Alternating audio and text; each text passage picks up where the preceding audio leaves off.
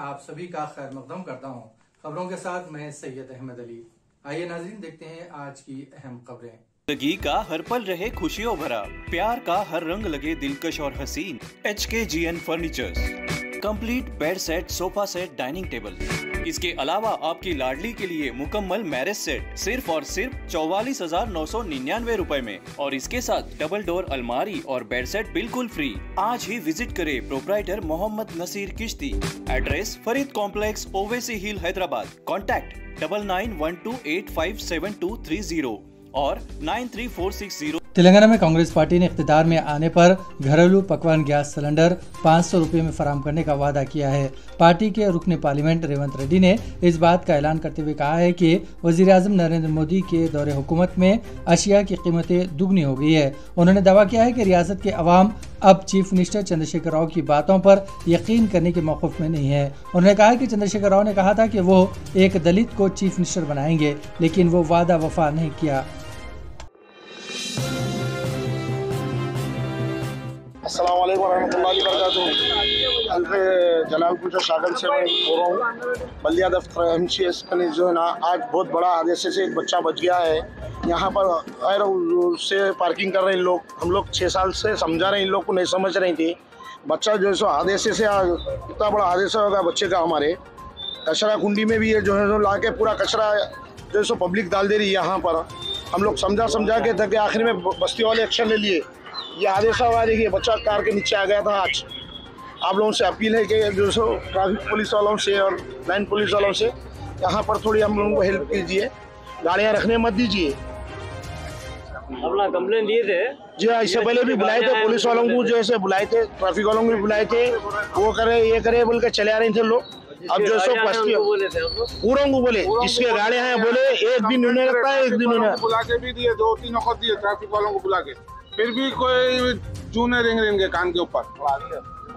मसी में बोलिए। पॉपुलेशन बड़ी है बस्ती बड़ी है। वो आने जाने का रास्ता एक ही बड़ा है। और अल्लाह ना करे कोई हादसा हो गया ना फायर इंजन आ सकता।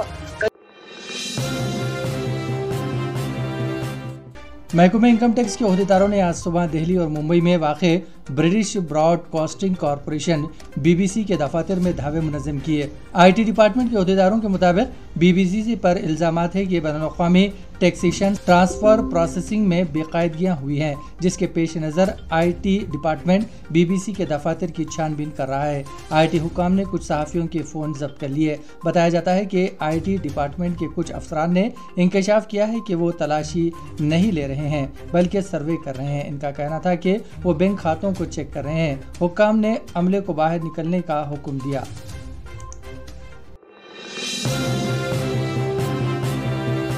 ये फरवरी महीना छः तारीख के दिन रात में साढ़े नौ के टाइम पे एक Mohammed Ayaz Aliya Sabbu twenty eight years ये पोल्ट्री के ड्राइवर है। इनको ये मेजेस्टी सैलून के पास संजय गांधी नगर में कत्ल किया गया। उस सिलसिले में आ, हम केस रजिस्टर करके आ, हम लोग उस पर तहकीक़ात करें। उसमें जो है सो Mohammed Asif alias Pokandi Sheikh Khalid alias currency Khalid Mohammed अफरो Afroz Khan आ, लेट मोहम्मद ओके मोहम्मद नदीम कुरैशी। ये चार इन्वॉल्व हुए। अब हम वहाँ पर सीन में मिले सो साइंटिफिक एविडेंस। और जो आई विटनेसेस उसके एविडेंस कलेक्ट करके हम वो करें। इसमें लोगों को कल ये खबरस्तान में खबरस्तान के पास है तो हम लोग अरेस्ट करें संजय गांधी नगर में। ये लोग आ, हमारे को आ, इसका एक एक का एक एक हिस्ट्री है। ये केस का असल चीज़ क्या है बोल तो ये मोहम्मद आसिफ के आ, चाचा को ये कत्ल किया।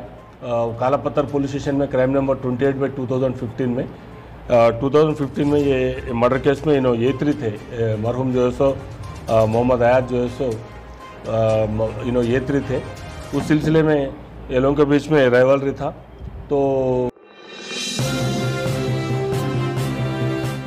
रियासत तेलंगाना के मिदक ज़िले के नारसिंगा से एक नौजवान खातून और एक नौजवान लापता हो गए। इब्तदाई इतलात के मुताबिक खलील नामी नौजवान और कल्पना एक दूसरे से मोहब्बत करते थे। लड़की के वालिदिन मज़हब अलग अलग होने की वजह से शादी के लिए राज़ी नहीं हुए। गुजशत माह कल्पना के दूसरे शख्स से शादी हुई थी, लेकिन कल से खलील और कल्पना नज़र नहीं आ रहे हैं। खलील की मोटरसाइकिल और दो सैंडल नारसंगी तालाब के किनारे मिले, जिसकी वजह से पुलिस और मुकामी लोग तालाब के पास जमा हैं।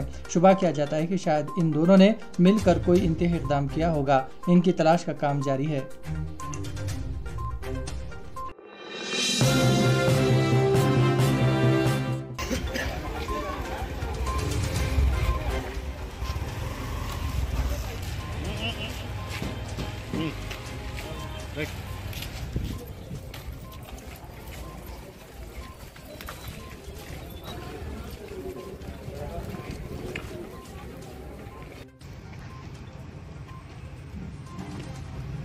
ஏன்னா தொந்தரவோ.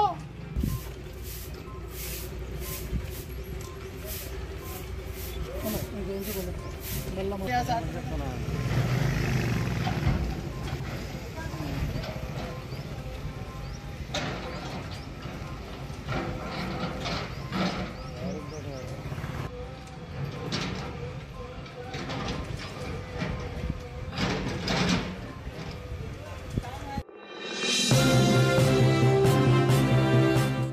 मरकजी हुकूमत ने आज पार्लियामेंट में बताया कि रियासत तेलंगाना की तश्कील के बाद कर्जों में काफ़ी इजाफा हुआ है। उन्होंने कहा है कि रियासती हुकूमत का कर्ज हर साल बढ़ रहा है। मरकज ने वाजे किया है कि अक्टूबर 2022 तक तेलंगाना का कुल कर्ज चार अशारिया तैंतीस लाख करोड़ रुपये है। मरकजी, ममलिकती वज़ीर फाइनेंस पंकज चौधरी ने लोकसभा में रुकने पार्लियामेंट उत्तम कुमार रेड्डी के पूछे गए सवाल का तहरीरी जवाब दिया। मरकजी वज़ीर ने बताया कि यह सब कर्ज रियासती हुकूमत रियासती हुकूमत के तहत चलने वाले कारपोरेशनों और पब्लिक सेक्टर इदारों की मुश्तरका खर्च है।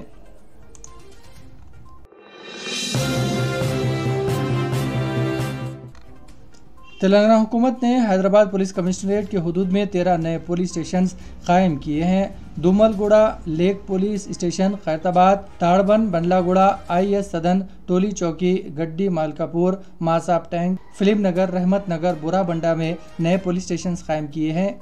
छः जोन्स में एक एक वुमेन पुलिस स्टेशन भी कायम किया गया है।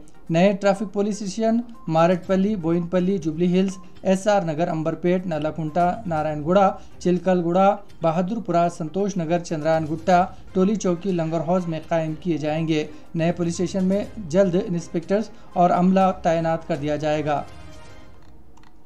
इसी के साथ नाजरीन, खबरनामा यहीं अख्ताम पजीर होता है। हमें सारी टीम के साथ इजाज़त दीजिए और हाँ शेयर कीजिए, लाइक कीजिए और सब्सक्राइब करना ना भूलें।